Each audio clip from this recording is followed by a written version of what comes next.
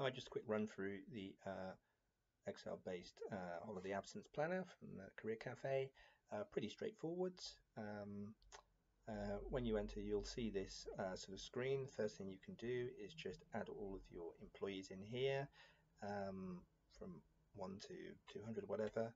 These employee names will then automatically feed through to the rest of the month. So just go back to January, and adding all your employee names first. Um, and then pretty much you can start adding in your holidays.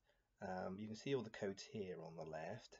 Paid holidays H, paid half day H1, H2, company sick pay S, maternity pay M, compassionate C, um, bank holiday B, other paid leave, um, PL, and so on. And then some unpaid leaves underneath for unpaid sick leave.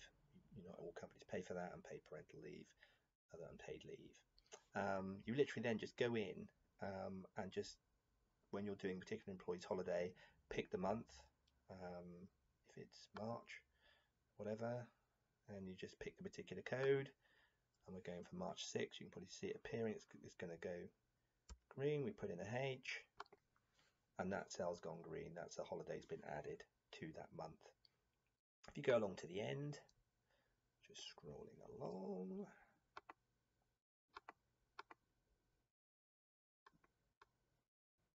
Then all the absences that month are total, totaled up. One day's holiday, one. You can see here there was the next one is um, so yeah, so they're all total up at the end. So that's as simple as that. You just go in, you just stick in whichever code it is you need. Half day H1 here, you can just see that appearing, and that just sticks in a half day holiday. So the things are very easy. Do that for each person. Do whatever month you need. Then you can go right to the end. Uh, and summary view. And that gives you the sort of report. And again automatically will pull all the employees names. You can then program it with certain things like the base holiday allowance for the year sickness allowance. I know not all companies have that but you may have sickness allowance. You put that in there and then you carry over holidays. This will then bring their total holiday allowance um, here. And then um, the holiday taken for each person will appear here in that in the holiday taken column. Sorry um, I'm realizing you can't see the cursor. So um, yes, so the first three columns um, are in sort of bronze. That's where you do the settings, you know, sickness allowance, holiday allowance, carryover. Then the next column, total holiday allowance, gives you um, the total holiday allowance for the year. Holiday taken comes immediately next, um, followed by holiday remaining, which is automatically calculated and color coded. Um, then following that, we have the sickness, that they've taken and the remaining sickness based on the allowance you've set. Um, and these are pretty much all the paid allowances.